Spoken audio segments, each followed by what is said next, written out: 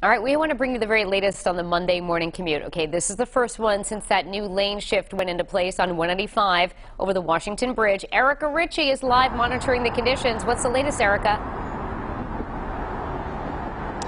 Well, Danielle, over the last 45 minutes, we've been watching the traffic build on 195 West heading into the capital city here as anticipated. Take a look. You can see it is very slow going as those lanes are reduced down to three lanes if you're traveling on 195 West. If you're getting onto the highway from Taunton Ave, Warren Ave, or um, Veterans Memorial Parkway, you can see you're down to one lane. And so that's not only having an effect getting onto the highway, it's also backing up traffic onto the East Providence streets on Taunton Ave over here, so keep that in mind if you're heading this way. Now, this is a big project, and this is only the first phase of the project. The entire $78 million project expected to wrap up in 2026, and that's because it doesn't just involve bridge repairs, but also a new exit to Waterfront Drive in East Providence to help support economic development, along with an additional travel lane on the Washington Bridge to help keep traffic flowing.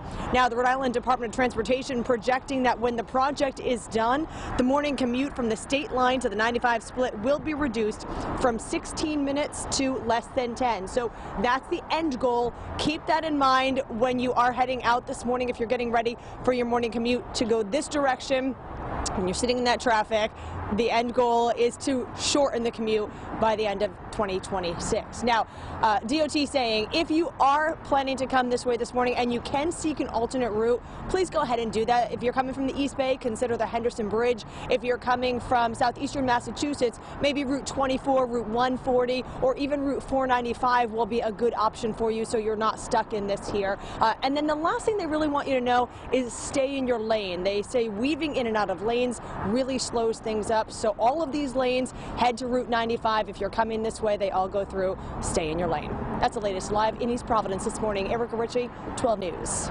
You're keeping a close eye on the Washington Bridge, as Melissa mentioned. So this is the first weekday commute since that construction project started last week. Erica Ritchie is live with the latest on what we're seeing for delays out there.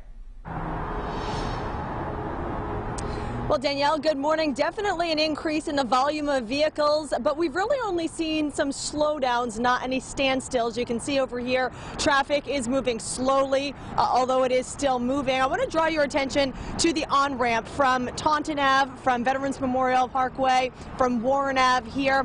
And I want you to know that all of these lanes go straight through to 95. So if you're going to be getting on the highway on 195 West over the Washington Bridge from this area over here from Taunton Ave, Warren Ave, Veterans Memorial Parkway. Stay in your lane. There's no need to try and put on your left blinker to cut over because all the lanes will go through. That's the only place that we've really been seeing the problems is when folks are trying to cut over thinking that's the only way they can get to 95 north or south. Stay in your lane. All of the lanes will go through to 95 south. Now traffic has been moving fairly freely even though it has been slowing down here. Uh, this is the area though from Broadway to South Main Street that we are going to be monitoring and have been those traffic traffic slowdowns here. Um, and that's because the lanes are closed. We're down to three lanes on 195 over the Washington Bridge. So once again, DOT is asking you to stay in your lane. That weaving in and out of traffic is really what causes the increased slowdowns in addition to the volume. Uh, also asking you to seek some alternate routes. If you're coming from the East Bay, try the Henderson Bridge to get over into the capital city in Providence. If you're coming from southeastern Massachusetts, consider Route 24 or Route 140 or even Route 495 to avoid 195 uh, as this project is going to be uh, slowing things down for quite some time. Now, as we come back live, I can tell you that this is only the first phase of a multi-phase, multi-year, $78 million bridge reconstruction project, and that's because it's a whole lot more than just repairing and reconstructing the Washington Bridge. We'll talk more about that coming up at the top of the hour. I'll see you right back here then. For now, live in East Providence, Erica Ritchie, 12 News.